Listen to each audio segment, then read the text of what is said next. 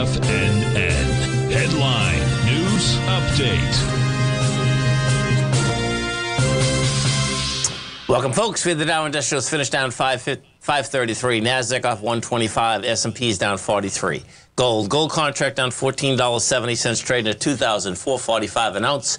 We have silver down 38 cents, $29.99 an ounce. Light sweet crude down half a buck, $82.29 a barrel. Notes and bonds. 10-year note down 9 ticks, 111.05. 30 year of 27, 119.22 in King Dollar. King Dollar's up 446. 104, 188, Euro 109, Yen 157, British Pound 129 to 1 US dollar. Let's get over with. We're going to do, I'm going to do both of these contracts for you for tomorrow morning, folks, okay? So we take a look at the S&Ps first.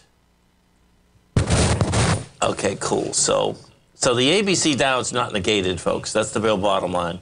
You still so we're at 5595. Your ABC down is 5544. 50 bucks, okay, from there for tomorrow morning.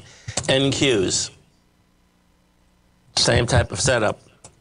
You broke the B, broke it with volume, went back on the other side of it, didn't get, oh, in this one, in this case here, well, in one second, we did get to the C, so it's not going to be as low as we thought by, one second, 946, 56, 14 points. That's nothing.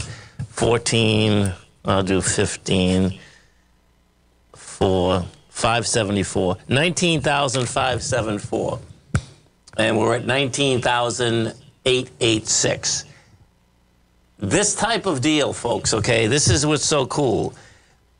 When you have ABC structures, whether they're on the way down or the way up, and you get them intraday the prior day, and they haven't fulfilled themselves, your probability gets a lot higher the following day that you're going to be correct in all the assessments because you just let the market go where it wants to go. If the market, you know, basically opens up, you know, like this morning, it opens up, you know, 10 SPY points, you know, 100 NQs points, don't worry about it, man, because the bottom line, well, it's not, don't, don't worry about it, but that doesn't negate the whole deal unless you actually blew away the C and you did it with big volume. In this case, we haven't done that, so.